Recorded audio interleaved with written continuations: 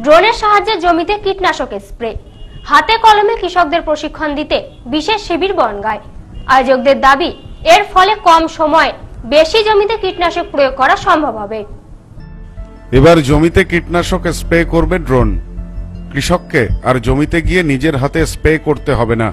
ড্রোনের সাহায্যে জমিতে কীটনাশক স্প্রে করবার অত্যাধুনিক পদ্ধতি দেখাতে হাতে কলমে চাক্ষুষ করাতে এক কর্মশালা আয়োজিত হলো বনগায়। বনগা ব্লকের জোকা আমতলা এলাকায় একটি বেসরকারি কীটনাশক সংস্থার পক্ষ থেকে এদিন এই উদ্যোগ নেওয়া হয়।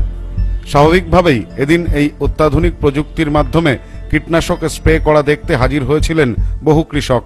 জানা গেছে, বর্তমানে কৃষকেরা পাওয়ার স্প্রে ব্যবহার করে জমিতে কীটনাশক স্প্রে করেন।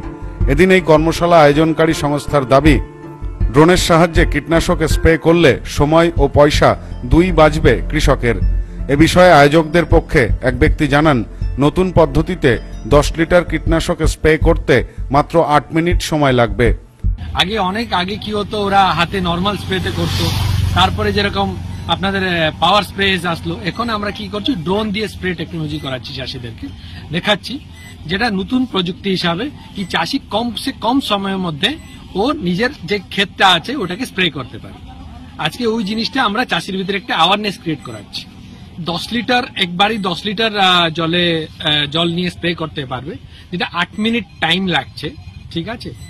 আর ও যেরকম মেডিসিন দেবে সাপোজ ধরুন দশ মিনিটে এক বিঘা হতে পারবে, ঠিক আছে?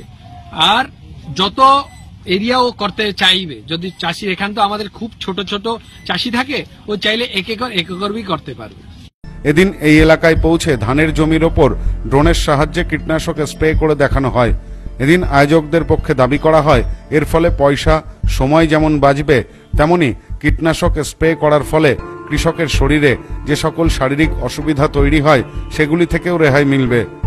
যে নতুন পদ্ধতি আমাদের এখানে এসছে, এই নতুন পদ্ধতিতে চাষিদেরকে সাড়ে ছয় মিনিটে এক একর জমি স্প্রে করতে পারবে এবং এই স্প্রেতে প্রচুর পরিমাণে হচ্ছে লেবার কম, অনেক লেবার অনেক কম লাগবে এবং লেবার সাশ্রয় হচ্ছে।